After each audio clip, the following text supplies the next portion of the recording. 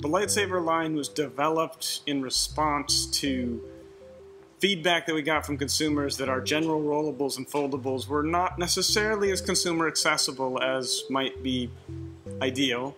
And so we started looking at how to make sure the outputs from the solar modules were as usable as possible to consumers.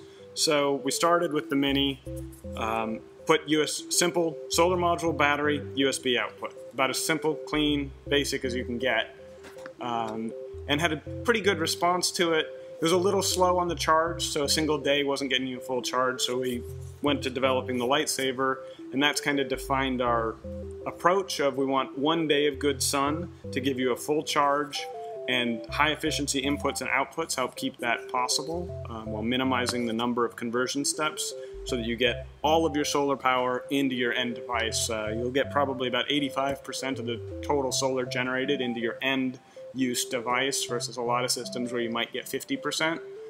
Um, and then we moved on to the Max, trying to really increase the functionality. We increased the size of it considerably and added 12 volt systems and all, while still keeping it as an all-in-one system.